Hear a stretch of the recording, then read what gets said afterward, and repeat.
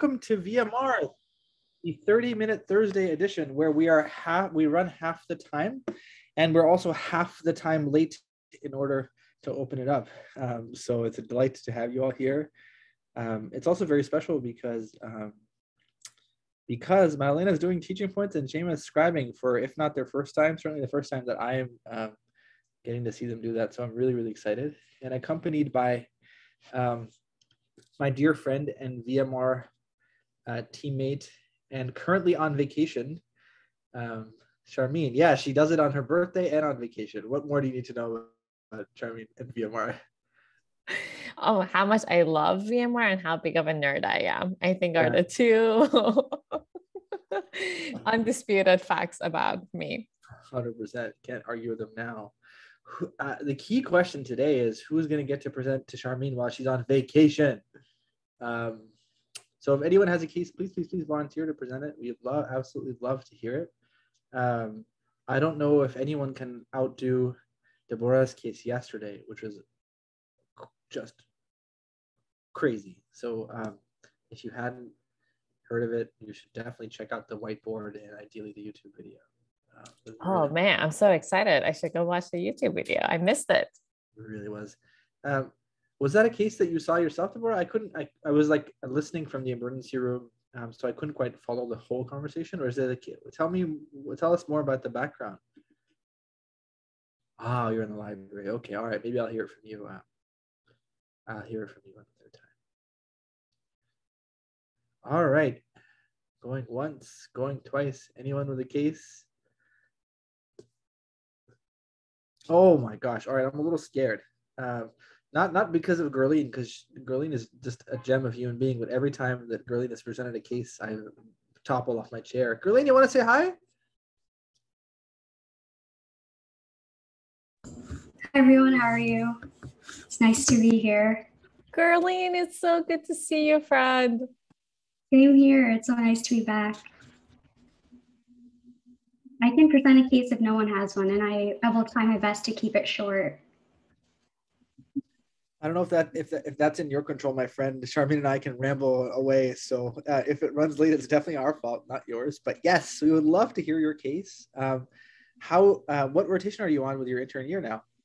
I'm currently on Jeopardy calls, so I got called into oncology last week, and then right now I haven't got called in today or tomorrow yet. Fingers so. crossed. Fingers crossed you get to hang out with us. All right. Well, uh, Charmaine will uh, digest your first aliquot. You can't wait to hear it. Yeah, so this is a 62 year old woman who um, came in with a few months of poor appetite and unintentional weight loss and one week of jaundice. So she noticed that around four months ago, she was having decreased appetite, feeling very fatigued, and people around her noticed that she had lost a lot of muscle mass. And she said she probably lost around 10 pounds during this time period. Initially, in the outpatient setting, her symptoms were attributed to worsening depression and anxiety, and she was started on escitalopram as well as um, clonazepam a couple of days prior to this presentation. For her anxiety, she also takes valerian root, which is a herbal supplement that she used intermittently for many months and years. That's the first aliquot. Oh, what a start, girly. And did I hear that patient is also has jaundice? Yeah, one week, one week of jaundice and like a few months of weight loss, fatigue, and poor appetite. All right. Um, thanks so much, uh, Gerline, as always.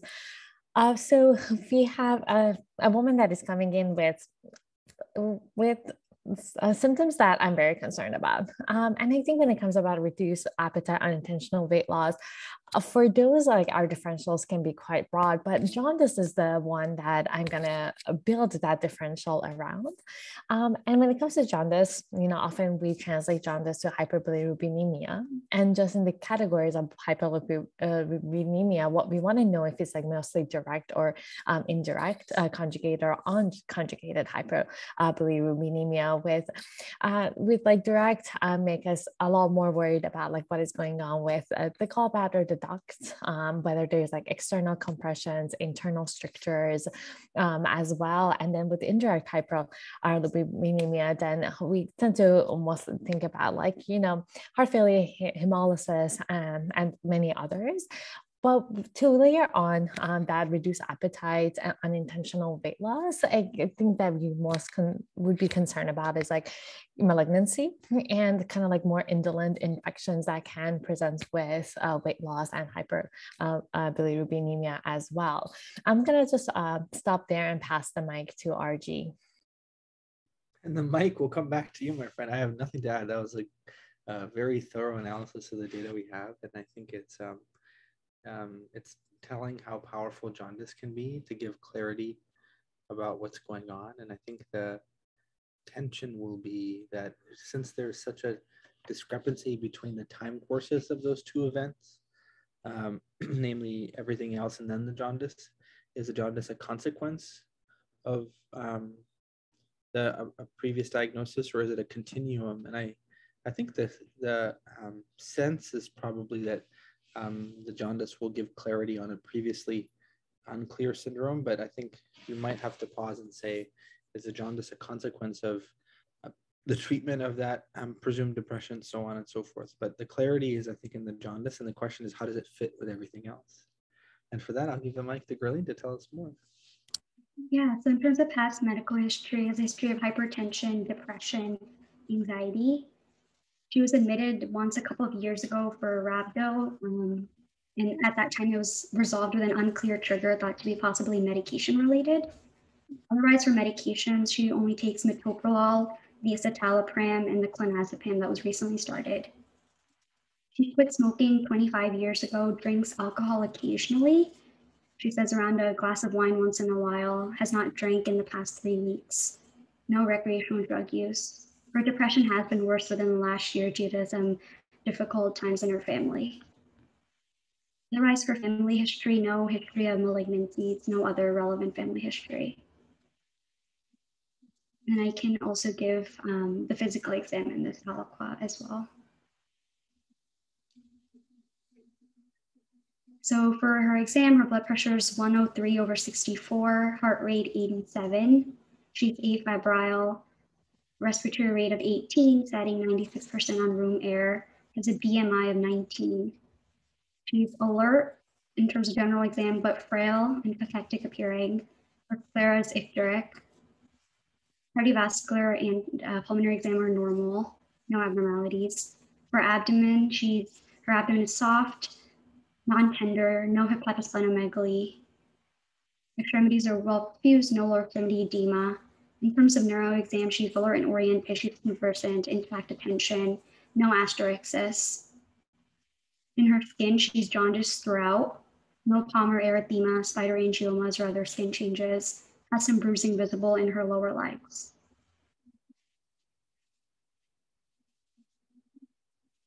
That's all I have for the second response. Oh, Gerline, the expert presenter that you are, thank you so much for um, outlining this so clearly. Um, maybe I can tackle the background information and um, and leave the exam for Charmaine to reflect on. And I think um, you know the and whenever a piece of background is uncertain, you're always tempted to say, is the rhabdomyolysis that she had before potentially, uh, since it wasn't explained, um, um, somehow related to the current symptom complex. And you know, I struggle apart from thinking of medication overlaps, medication-induced rhabdo or toxin-induced rhabdo, to think of anything else um, in an older adult. There are a number of genetic conditions that cause liver and muscle involvement. It's also very plausible that um, that liver and muscle disease get confused because um, the enzymes that we attribute to liver disease come from muscle but um, it's probably true, true and unrelated. But the possibility may be that there's um, that both the liver and muscle are vulnerable to medication and toxin effects. Um, with one example uh, potentially causing both, um, namely statin-induced liver disease and statin-induced uh, muscle injury. Um, and I think um, I don't. I'm not certainly not an expert in depression. I'm intrigued by the choice of a benzodiazepine to treat it.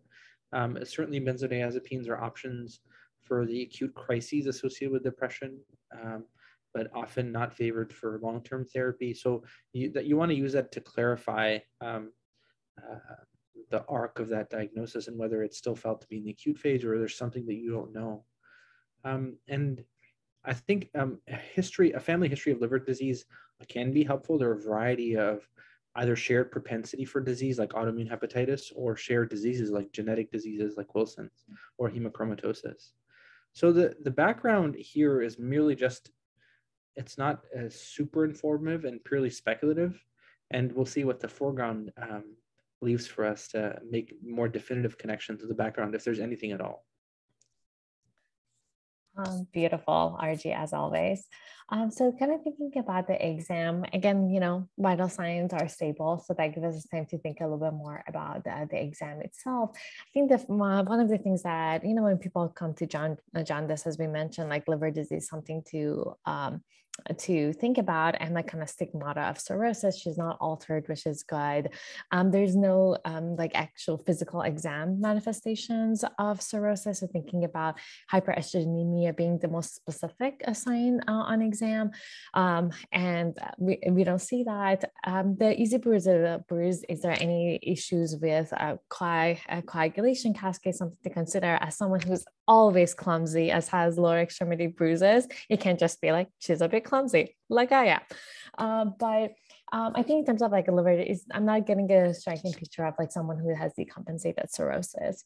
Um, in terms of like if there we can make any other um, diagnostic uh, moving uh, the diagnostic process forward, you know, no right upper quadrant tenderness per se you know, I, given the tempo, we had like low concerns for like kind of a cholangitis type pictures to begin with, but again, like something to um, consider.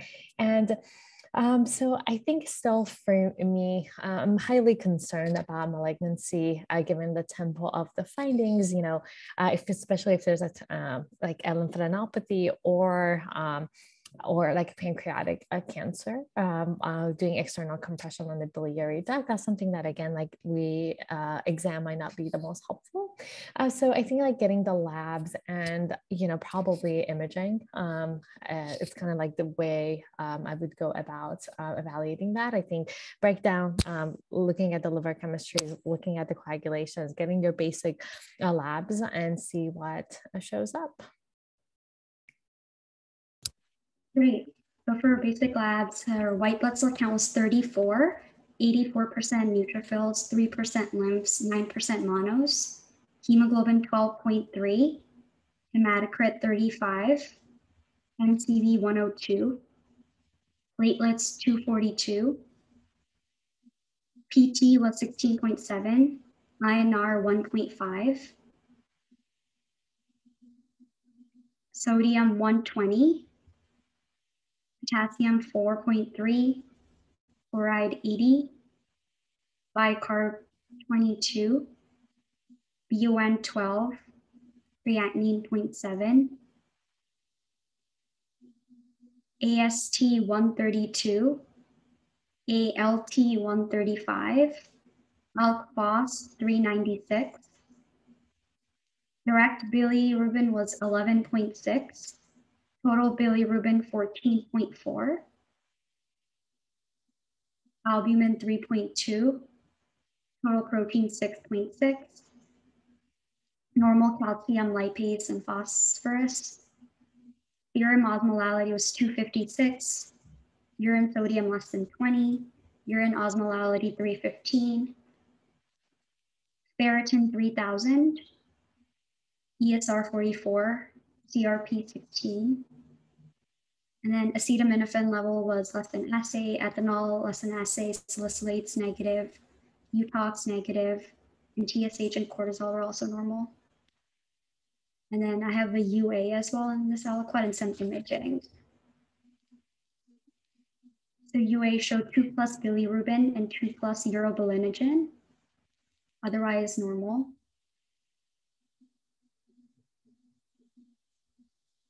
And then I have a series of imaging tests. So, so for, um, she got a right upper quadrant ultrasound, which showed cholelithiasis and biliary sludge, but no gallbladder wall thickening and negative Mur Murphy sign. It, it was thought that it could be related to a reactive process due to the hepatic disease because there was a diffuse hyperechoic liver. that was seen on the right upper quadrant ultrasound.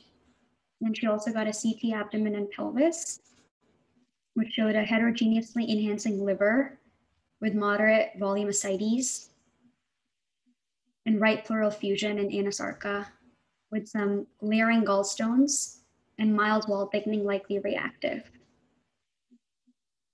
And then she also had an MRI, which showed similar um, findings, MRI abdomen of a fatty liver, heterogeneous hepatic enhancement, concerning for inflammation, and distended thick-walled gallbladder.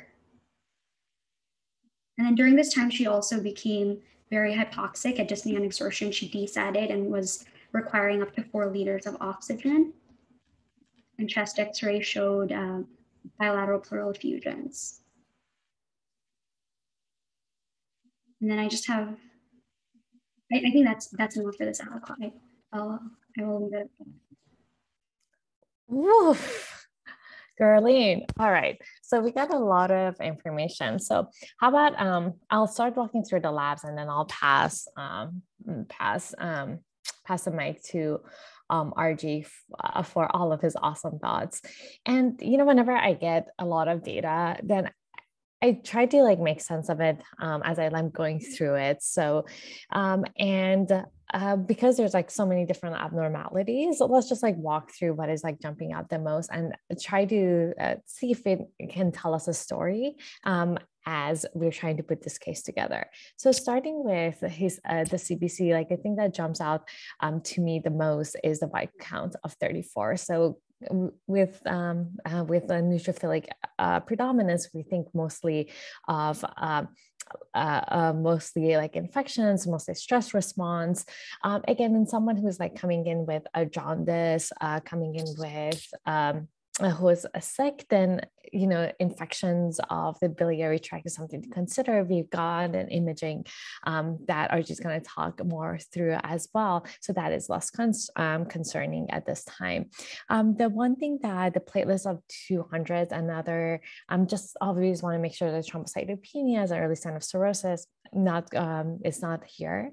Um, so uh, the thing that jumps out to me with that CBC is uh, the leukocytosis, whether it's infection, a, a, stress response to whatever is going on, or um, you know, uh, a lot of the times uh, like solid malignancies can present with leukocytosis, that neutrophilic predominance as well. Um, the thing that jumps out to me the most in this basic metabolic panel is a sodium of 120, so the hyponatremia, um, and in terms of the hyponatremia, the first thing that I asked myself, like, hey, is this ADH mediated or not? And a trick that I actually learned with uh, from um, RG is like kind of thinking about the relationship between the um, urine osm and the serum osms. And here, the urine osm is uh, greater than the serum osms, meaning that the ADH is on, and that kind of thinks us uh, through that there's a problem with excretion with the uh, ADH being on, then thinking about if this is mostly SIADH or de- decreased uh, effective arterial. With the urine sodium that is low, uh, puts you in a category of thinking about as someone who's sort of volume up or down. Um, and the other thing about hyponatremia that I always like think about is like whenever you say hyponatremia, oftentimes is more than one reason um, that uh, somebody's hyponatremic. Um, so it tends to be multifactorial. So my first step is always thinking about like what is the main driver, and those are the labs that I tend to trend um, because. Uh, because again like as some one aspect of it get better uh, another reason for hypernatremia pops up. And in someone who has like a really low appetite, low solute intake is something to also consider um, going forward. In terms of the, um, uh, the pattern of injury that you see, AST, ALT, uh, ALK and Billy, it's notable to me that the Billy and um, the ALK is uh, more elevated uh, than the liver patterns of injury. So thinking about more cholestatic pattern and thinking more a little bit about like infiltrative and intrahepatic etiologies. Um, I'm going to start there and uh, let RG layer on more.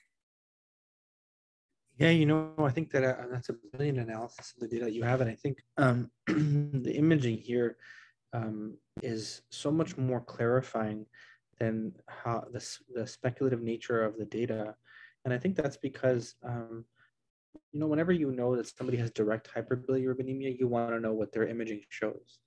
And um, the imaging here is interesting because there's no um, obvious um, overt extrahepatic disease. Now, what, what do we mean when we say extrahepatic disease?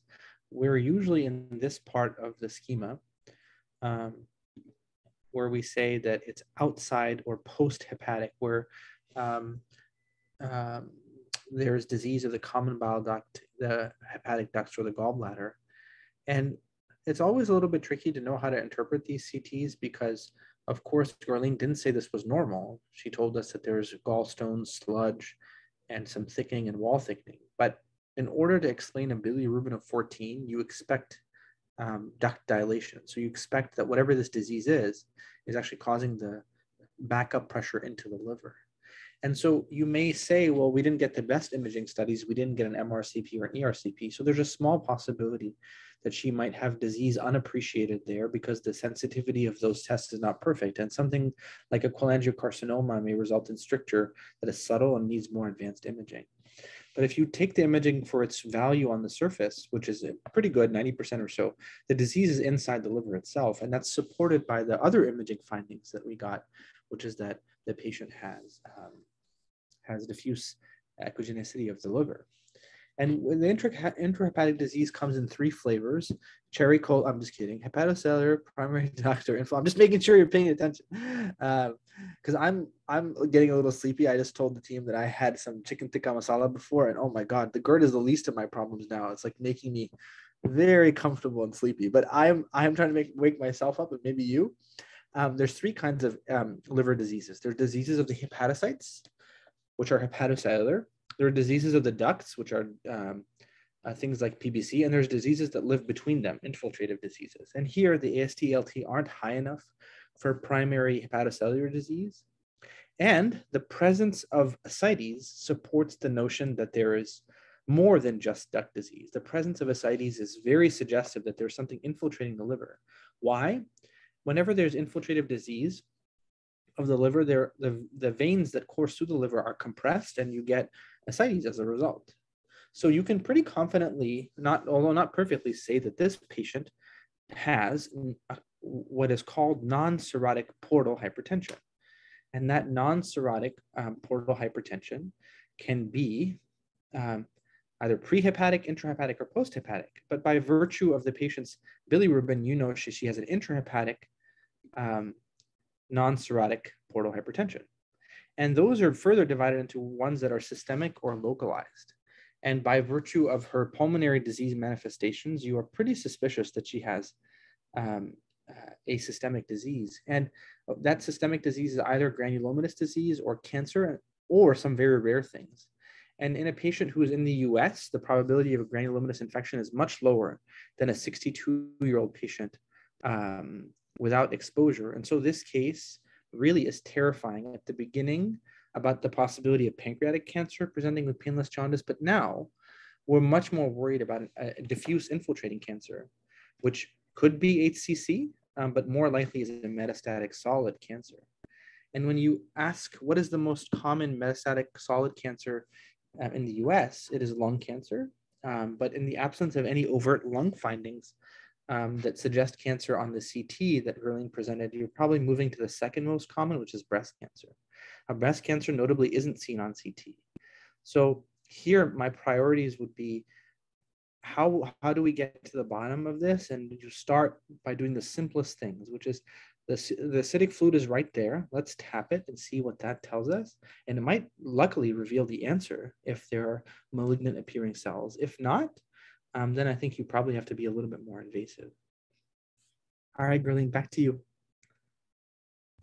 Yeah, I learned a lot from the discussion. Thanks, Sharmeen and Rabih.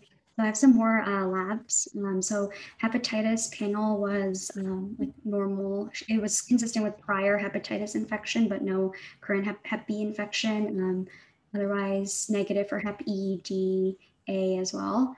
Um, then we got also some antibodies. So she was negative for ANA, anti-smooth muscle antibody, anti-mitochondrial antibody, and LKM1. And then in terms of infectious studies, uh, negative for EBV, CMV, HSV, HIV, VZV, and T-spot was negative as well. Ceruloplasmin was normal, alpha-1 antitrypsin was normal, And then IgG and IgA were within range. And then IgM was 762. The upper range of normal on our test was 230. Serum-free light chains showed normal kappa lambda ratio, no monoclonal gammopathy on SPEP. CEA was normal. CA 19.9 was 182. The upper limit is 35. The blood cultures were negative. Hematology was also consulted given the significant leukocytosis and on review of the smear, there were no abnormal cells. Given that it was mostly a neutrophilic predominance of the lymphocytosis, they thought it's unlikely to be certain hemolignancies, but things that you would think about would be CML and CMML. So for that, they sent off a, a rapid heme panel, which basically looks at various mutations that would be found in those malignancies, and that was negative as well then um, during her during this, like her home um, medications were held just due to concerns for drug-induced liver injury, though not typical for clonazepam or citalopram, and it didn't really fit the time course. So the initial plan was for an endoscopic ultrasound and liver biopsy through that, but she, she became high risk because of her respiratory status. So it was thought to be too high risk with intubation. Um, during this time, she also had an echo because of concerns, I think, of her um, volume status and other things, her respiratory status, which showed a normal ejection fraction um, and no intracardiac shunt, but possibly a small intrapulmonary shunt. And then CTA showed no pulmonary embolism just because of her um, acute onset hypoxia that had happened in the hospital. During all of this time, her total bilirubin rose rapidly to 19, and her direct bilirubin was 17 at this time. And I think in terms of getting um, the ascitic fluid, it was a hard pocket to tap because there wasn't there wasn't that much. So there was um, in, in this aliquot, I don't have any more information about the ascitic fluid. And this is the last bit of information before the final diagnosis.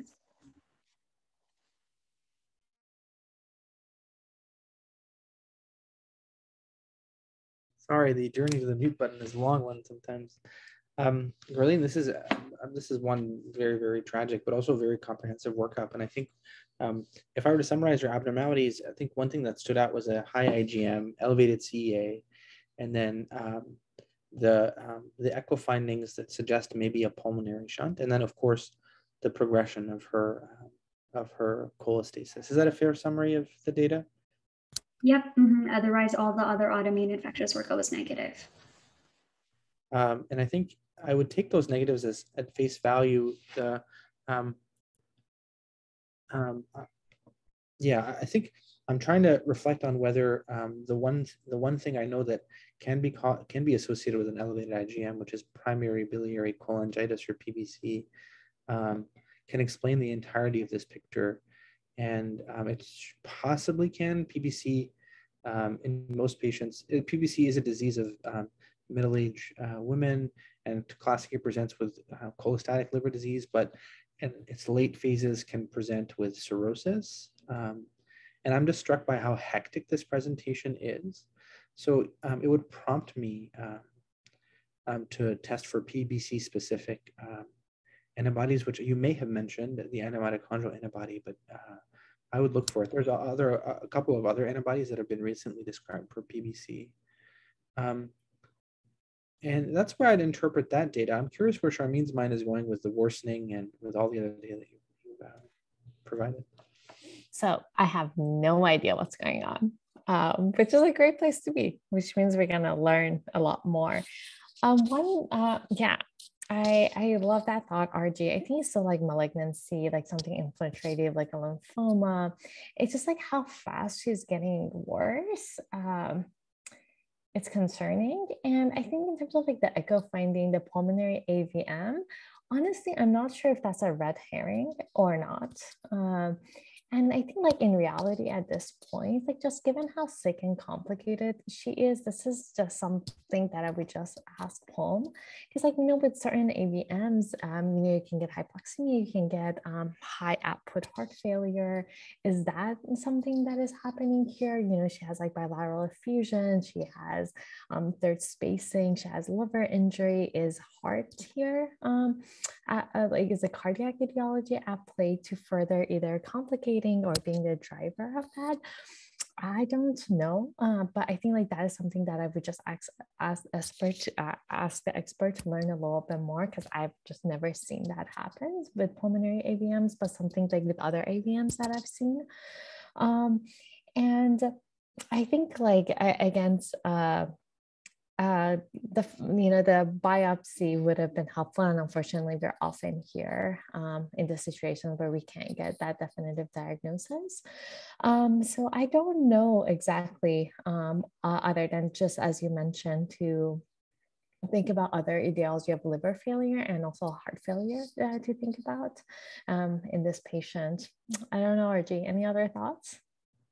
Yeah, you know, I think that there's something clearly hiding, hiding, and whether that's something that's very microscopic um, mm-hmm. that we um, can't, will never see on radiology, or whether it's something that we typically see on radio, where we can see on radiology but don't. And I think this is just this. This is a reminder that the possibility of um, malignancies in the breast can hide on CT scan, and mm-hmm. also um, malignancies in the GI lumen and the pelvis. So you might not see the ovarian primary on CT scan and need a, a transvaginal ultrasound. You might not see a gastric cancer and need an EGD.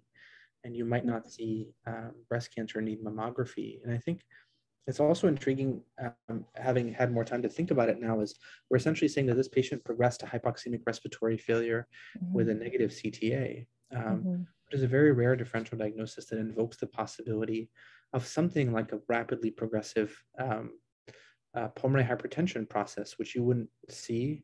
Mm-hmm. That also uh, aligns well with pretty aggressive malignancies like breast or mm-hmm. yeah. or gastric. So, mm-hmm. and yeah. RG fits, uh, is it Meigs syndrome, the one that has ascites and pleural effusions, right? right. Um, with ovarian um, pathologies. And this is like way more aggressive than, I, I mean, we've had, I think, another case presented, but that's something that came to my mind too. Told you we should fumble when Gurleen's presenting. We'll see where we're at. I yeah, love it. So, uh, in terms of um, what helped with the diagnosis, so she was able to undergo um, a liver biopsy through um, IR, interventional radiology. So that showed the liver biopsy showed um, hepatic parenchyma with architectural disarray. The lobules had moderate macrovesicular steatosis and severe steatohepatitis with extensive hepatocellular ballooning, striking Mallory bodies, as well as neutrophilic infiltrate. Iron stains uh, show very minimal iron deposition. So basically, um, the description of this liver biopsy per pathology was classic, um, classic findings for alcohol-related liver injury. Though sometimes in drug-induced liver injury, you can also have um, Mallory's hyaline staining and also sometimes in non-alcoholic steatohepatitis or PBC. But overall, based on this pathology and kind of all the other markers, um, the final diagnosis was alcohol-related liver injury. So initially, when I had gotten the history of her um, social history in terms of how much alcohol she drinks, she, her daughter was in the room. So we, we went back to talk to her about her um, alcohol history, and she said that she at most has one to two glasses of wine five nights a week. But she always tries to check to make sure she's not drinking too much. And she said she only had alcohol once before to in terms of um, an extensive amount to help her cope with her anxiety and depression. And her last drink had been a few weeks ago.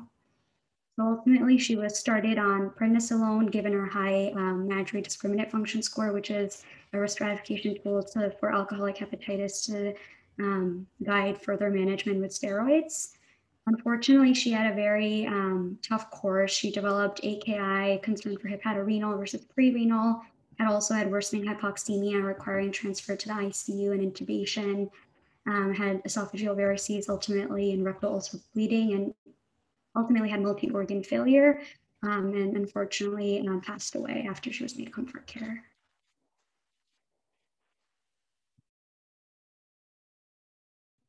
uh, I don't even know what to say. I think that's just so, um, ooh, it's so, so, so humbling. Um, I'm, I think it's not too surprising given the ultimate diagnosis of this patient with alcoholic hepatitis, the outcome that you just shared. This is always very sad and never something you want to end a case with. Um, and I'm humbled. I think um, if we if we go back to the, what we were confident about, I think we were confident that based on the fact that this patient had jaundice and ascites, that she had non-cirrhotic portal hypertension, and um, I uh, put the schema away. But if you remember, there was local causes and systemic causes, and I think we made the assumption that it was systemic based on how sick the patient was. But I think there, there, there. Yeah, I'll pull it up just so you guys can review it. Um, there was a, a local cause. Um, um sneaking up on us the whole time. And I think we don't tend to suspect the most common local cause, which is actually alcoholic hepatitis. Um, and I'll just leave these up here for you guys to review in a second. Um, that's this is what we were confident about. You have jaundice and you have ascites. It's very, very rare to be outside the space. And um, I think given her pulmonary findings, it was hard not to assume that she had some systemic cause. But you know, in close scrutiny, that MCV was high. Um, and I think that may have been a tip off. But at the end of the day, the stigma associated with this disease means that you should always, always, always entertain the possibility that the patient has two problems: one, alcohol alcohol use disorder, and two, um, society, social, society-induced shame about alcohol use disorder. And um, the other problem, the second problem, can get in the way of diagnosing the first one. Thoughts, Charmaine?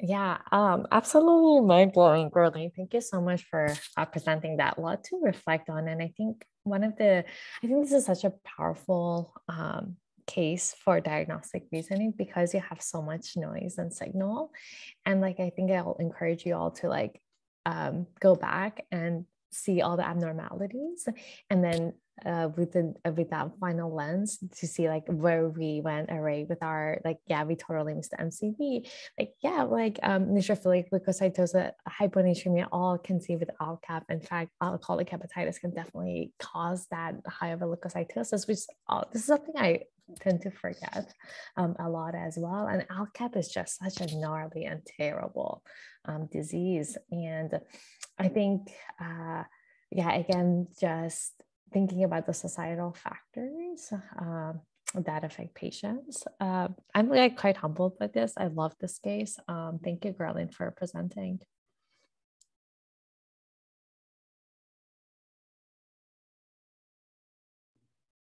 Well, Lena, I don't know how you're gonna be able to uh, capture the the epicness of this case, but if anyone's up for it, it's you. Take us home. Yes. Okay. Well, uh, what an incredible case. We all went through quite the journey. And uh, Rabih and Charmaine, that was such an amazing discussion. And I um, definitely have to go back and really kind of capture all the pearls, but I'll review kind of some of what we dis discussed. Uh, so we started with jaundice, which we talked about can be converted in our minds to hyperbilirubinemia.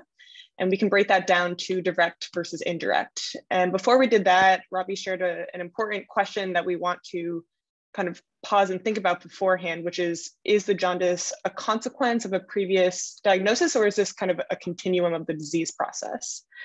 And when we break down jaundice into direct versus indirect, direct, you know, being conjugated, we can break that down into uh, intrahepatic and posthepatic.